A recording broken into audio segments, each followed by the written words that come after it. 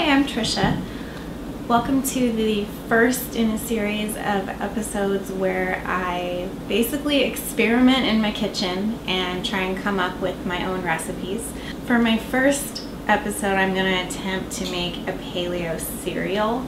Um, I've been looking for a recipe online and haven't found a whole lot. Um, I found some kind of granola-ish type things where they're uh, made with mostly nuts and sesame seeds. But I did find one recipe for a kind of little cereal balls um, that looked really good, but they were made with mostly almond flour.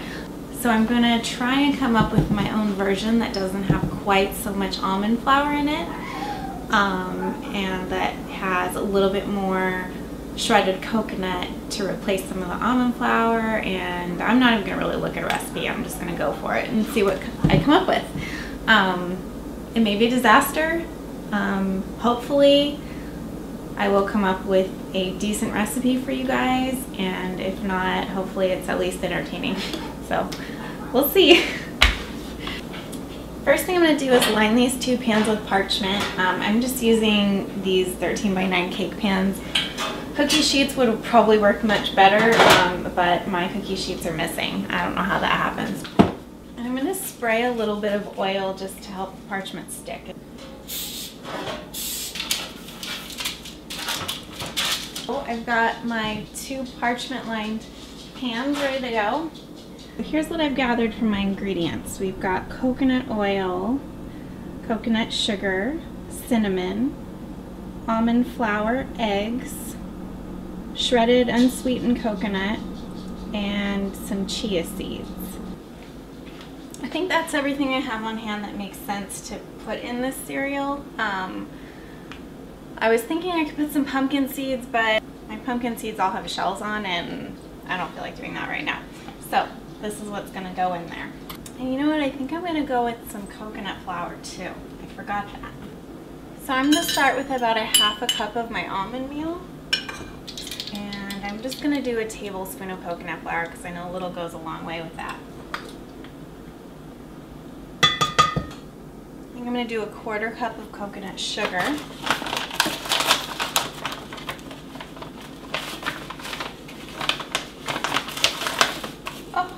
out. So sad.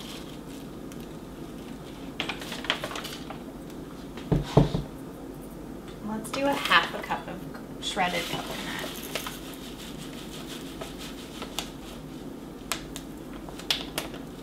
Mm, kind of a big half a a quarter cup of chia seeds. I think I'm going to do a whole tablespoon of cinnamon I feel like this needs some spice. Okay, so that's it for our dry ingredients. Got a really nice looking uh, mix of dry ingredients here. Okay, so I'm going to start with just one egg um, and see how the batter looks and then add more if needed. I'm running out of everything today. So to start here, I've got two tablespoons of coconut oil. And I'm gonna whisk that with my egg.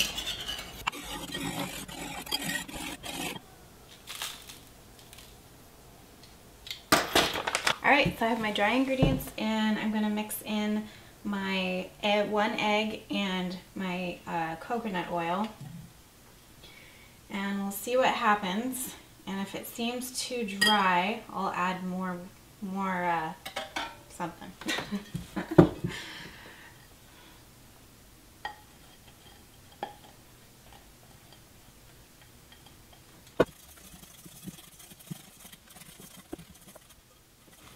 okay, so it's definitely a little too dry. So I've got one more egg white here. And add that in.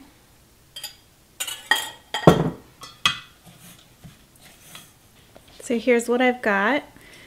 I know it doesn't look that appetizing, um, but it's. I think it's going to be good. It doesn't smell bad.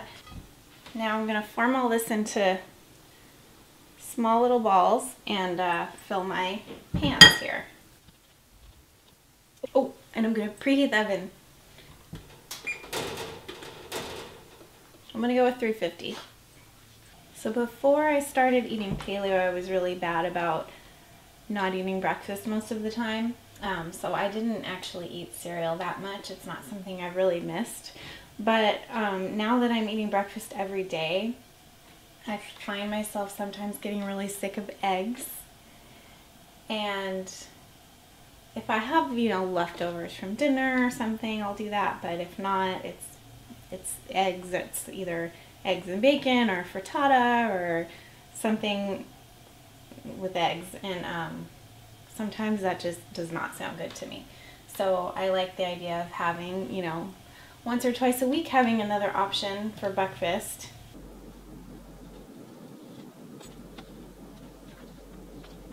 If the idea of rolling all these tiny little balls um, is kind of turning you off to the idea of making this, um, you could totally just spread it on the pan and break it up into little pieces later if it gets crispy enough. We'll see. But um, basically, I'm just a crazy person and decided to do it this way. I'm also kind of pressing them down um, so that they're more like flat little discs um, because I feel like they will be more likely to get more dried out and kind of crunchy that way. Okay, so when you're done, if you uh, rolled your cereal in little discs like me, which should exactly fill these two pans, which I'm taking as a sign that these are going to turn out amazing. Um, and your hands should look like this.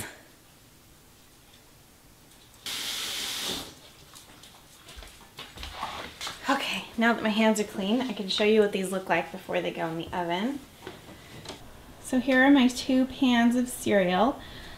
I would say I rolled them into about half inch balls and then just flattened them to about a quarter inch thick discs um, to help them dry out and get crispier. So now I'm going to go ahead and put them in the oven. I'm going to give these 10 minutes to start and then I'm to check on them. Okay, it's been 10 minutes, so I'm to pull these out and see how they look.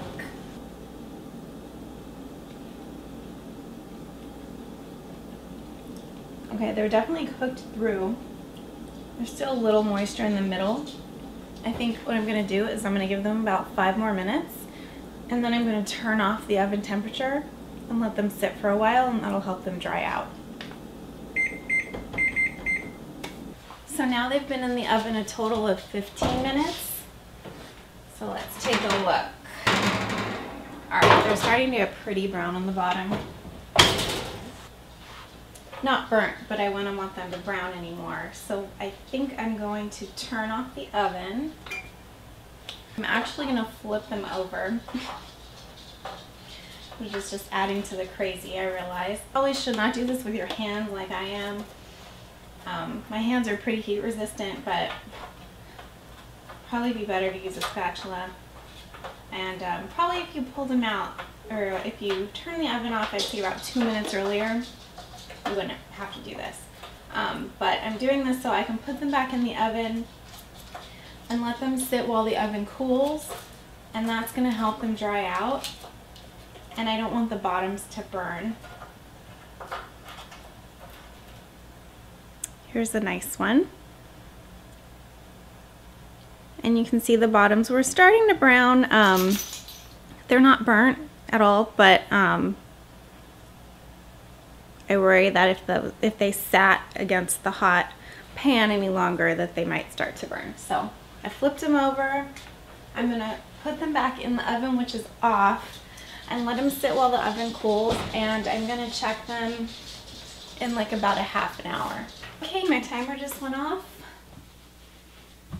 Let's take another look at these. Here we go. They're pretty well dried out You can hear it snap. Let's see.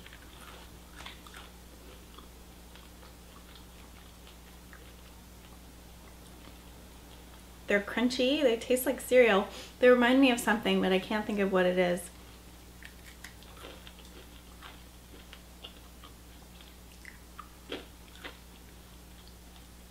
I like it. I'm gonna go with success on this. They're kind of a lot of work, um, but I mean, it's worth doing every once in a while just to have like a little a little treat. I'd say they're pretty healthy. I mean, there's um, only, in all of this, there was only three tablespoons of coconut sugar. That's the only sweetener I put in. They're not super sweet. I never really liked sweetened cereal that much, except Lucky Charms. Mm. But, um, you know, I would eat really plain cereal and um, stuff like that. So these are just a little bit sweet, which is which is nice.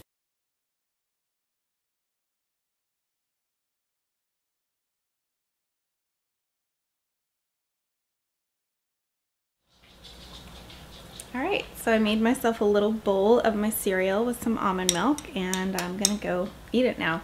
Thanks for watching and I will see you next time with another experimental recipe. Bye.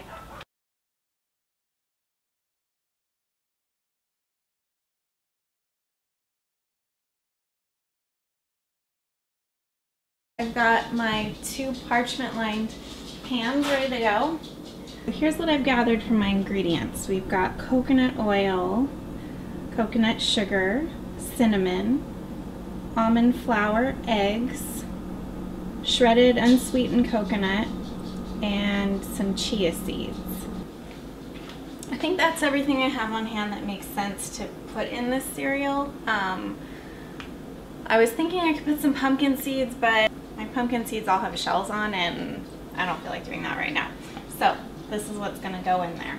And you know what? I think I'm to go with some coconut flour too. I forgot that. So I'm going to start with about a half a cup of my almond meal. And I'm just going to do a tablespoon of coconut flour because I know a little goes a long way with that. I think I'm going to do a quarter cup of coconut sugar.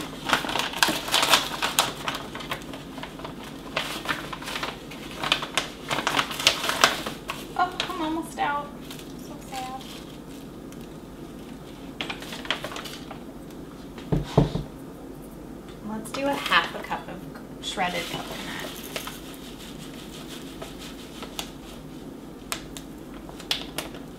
Mm, kind of a big half a cup. Now I'm going to add a quarter cup of chia seeds. I think I'm going to do a whole tablespoon of cinnamon. I feel like this needs some spice. Okay, so that's it for our dry ingredients. Got a really nice looking uh, mix of dry ingredients here. Okay, so I'm going to start with just one egg um, and see how the batter looks and then add more if needed. I'm running out of everything today. So to start here I've got two tablespoons of coconut oil. And I'm going to whisk that with my egg. Hi, I'm Trisha. Welcome to the first in a series of episodes where I basically experiment in my kitchen and try and come up with my own recipes. For my first episode, I'm going to attempt to make a paleo cereal. Um, I've been looking for a recipe online and haven't found a whole lot. Um, I found some kind of granola-ish type things where they're uh, made with mostly nuts and sesame seeds. But I did find one recipe for a kind of little cereal balls um, that looked really good, but they were made with mostly almond flour. So I'm going to try and come up with my own version that doesn't have quite so much almond flour in it um, and that has a little bit more shredded coconut to replace some of the almond flour. And I'm not even gonna really look at a recipe. I'm just gonna go for it and see what I come up with. Um, it may be a disaster. Um, hopefully I will come up with a decent recipe for you guys. And if not hopefully it's at least entertaining. So we'll see First thing I'm going to do is line these two pans with parchment. Um, I'm just using these 13 by 9 cake pans. Cookie sheets would probably work much better, um, but my cookie sheets are missing. I don't know how that happens. And I'm going to spray a little bit of oil just to help the parchment stick.